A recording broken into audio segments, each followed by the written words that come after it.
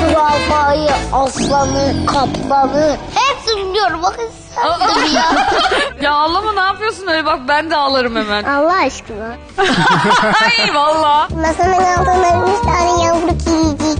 Sen, sen sayın bir oyun boyu falan yok sana. Aa? Ekmek peynir yok muydu?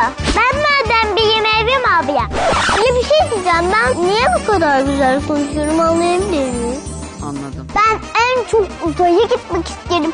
Orada bir sürü yıldız var çünkü. Masallar diyar diye bir şey yok. Dur çok komik. Akıl yaşta değil baştadır.